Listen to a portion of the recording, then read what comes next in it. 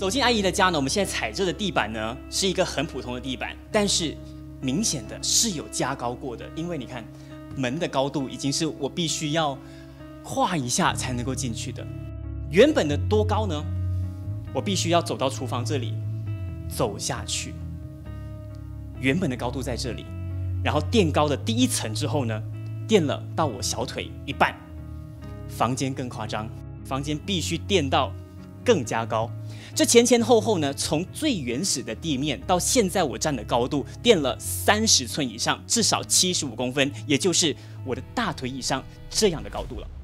好像 starting 的时候不习惯了，因为我们平的嘛，现在习惯了啊，也是危险，好像你不小心会被跌倒哦，会的。小孩子咯，还有老人家，对不对？啊，可以了，我们习惯了啊，没有办法啊，你不这样做，你看我们也住的不安全，做了也是这样。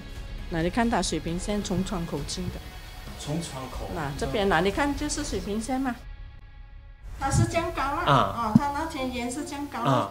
原本以为房子垫高之后能够高枕无忧，谁知道人算不如天算，洪水还是能够灌进来。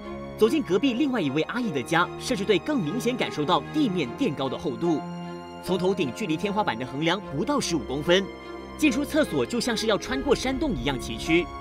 还有这扇铁门关起来的时候，其实你是很难想象的，一间房子呢，一个人的高度竟然可以超过。一个门的高度，以我一百七十六公分来计算呢，这个门呢是足足矮了我半截的头。这个房子到底垫多高呢？如果我们从厕所的门来看，就更加明显，因为我必须要这样子跨进去，才能够到冲凉房里面去洗澡。更夸张的是，如果我要上厕所的话，除了需要跨进去之外，整个马桶座呢还需要再爬六十公分以上。才能够在厕所里面上厕所。我现在的高度呢，距离天花板只剩下不到一把长尺的长度。那阿姨就笑说了：“住在这间房子啊，好像是住在小人国一样，非常荒谬啊。”所以我们是小人国了，小人住的，小人住的真的好笑啊，看了都好笑。你的家垫到这样高，它水还是进来也是进。你会不会很傻眼呢？会咯。会不会很傻眼？那那个尺度就没坏，尺度坏掉两个，丢掉了。